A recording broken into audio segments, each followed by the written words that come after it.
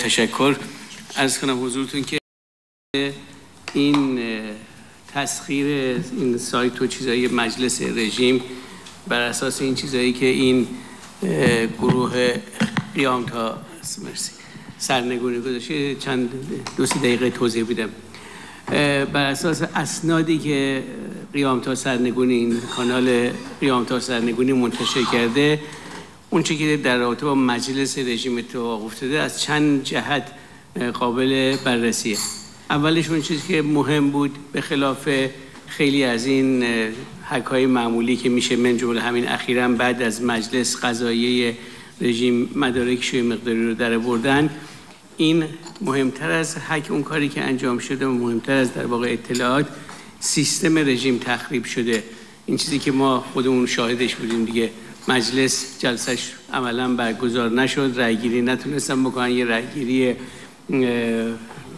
با قیام و قعود کردن و مجلس هم به خلاف اون چی قرار بود تعطیل شد. یک روزم از برنامه مجلس قرار بود که دو روز جلسه داشته باشه یک روزش اصلا کنسل کردن یک روز یکی دو ساعت گذاشتن نتونستن اداره کنن. مجلس انداختن به 14 اسفند چند روزش به طور طبیعی هم تعطیل بود ولی چند روزش رو به خاطر اینکه سیستماشون از کار افتاده. نکته دوم در مورد مدارکی که منتشر کردن. این مدارک از بابت های زیادی قابل ملاحظه است.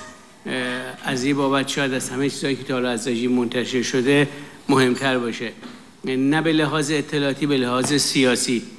این مدارک یه چیزی رو که ما بارها و هزاران بار گفتیم در چل سال گذشته خیلی خوب نشون میده که مجلس دولت تمام اون دستگاه هایی که بروکراسی رژیم هست اینا هیچ نقشی در رژیم ندارن و هیچ به سبب منشأ اثری نیستن. صرفا ابزار آلت دست دست بیت خامنه و سپاه پاسدار هستن.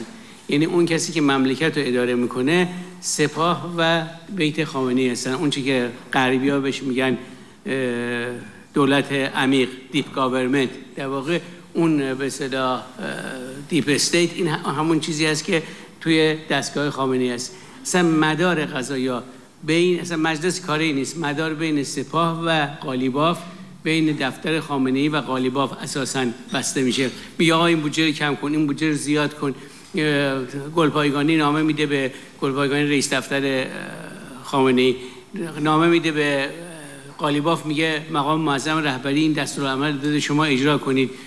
فلان بودجه از جا برداریم بذارین اونجا. بودجه قدس رو از نمی‌دونم یعنی همه کار امور مملکت در اقتصاد در سیاست در امنیت اون چیزایی که علل قاعده توی مملکت باید از مجلس عبور بکنه تماما بین دولت و این یک جنبه شاید مهمترین جنبهش باشه. این حرفی بود که ما می‌دونستیم می‌گفتیم هم خودمون.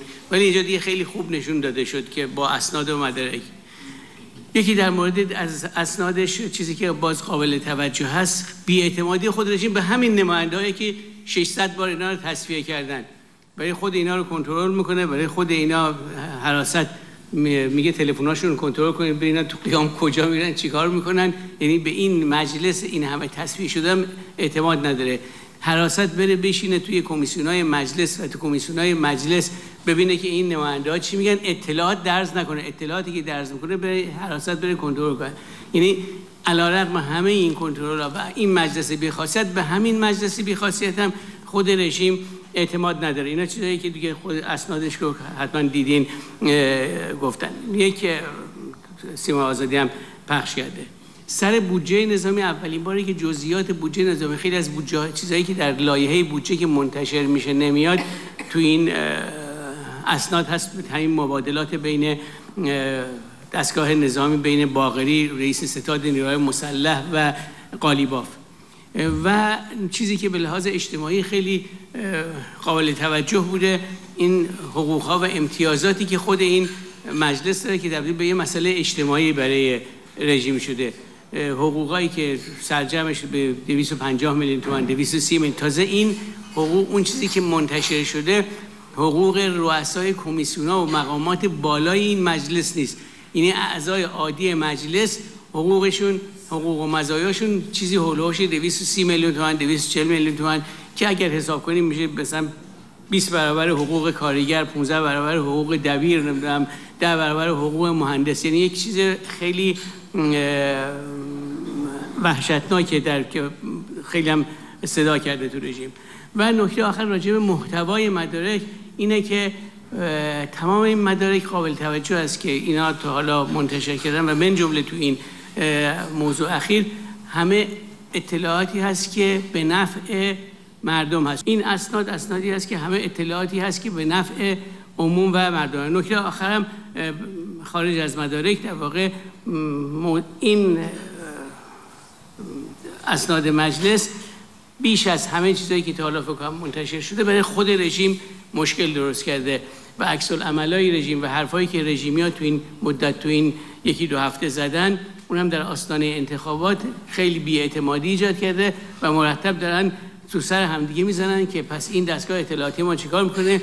این همه دستگاه اطلاعاتی اینا کجان؟ چجوری ما کنترل می‌کنیم؟ و از این ما شرفا که خودش هم اینم یک موضوع قابل توجهی هست که حتما خیلی هاش رو در سیما هم پخش کرده. تمام با تشکر.